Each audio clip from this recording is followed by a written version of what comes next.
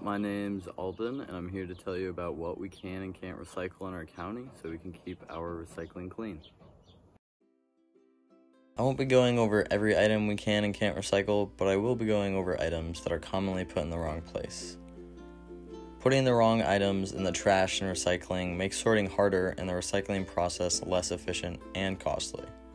Nobody wants that. Plastic clamshell containers are an item that is sometimes recycled, but in our county, they're not.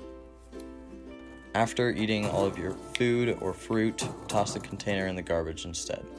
Styrofoam or any other foam should not go into the recycling.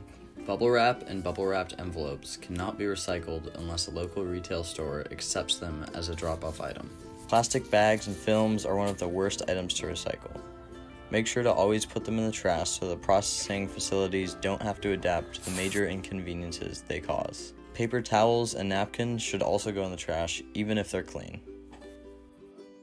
Never put plastic food packaging in the recycling. This includes chip bags, candy wrappers, granola bars, etc. They are one of the main causes of contamination in the recycling process. On that note, you should also never recycle dirty peanut butter containers or dirty tubs of any kind. Peanut butter containers are technically recyclable, but only if they're empty, clean, and dry. If they're clean, tubs, jugs, and bottles are all recyclable. Cardboard, paperboard, and food boxes are all recyclable as well. That is, when they're clean. The same goes for metal food and beverage cans. They should be recycled in your blue bags when they're clean. Obviously, this isn't everything that can and can't be recycled. This video is only meant to clear up common misconceptions about what can and can't be recycled.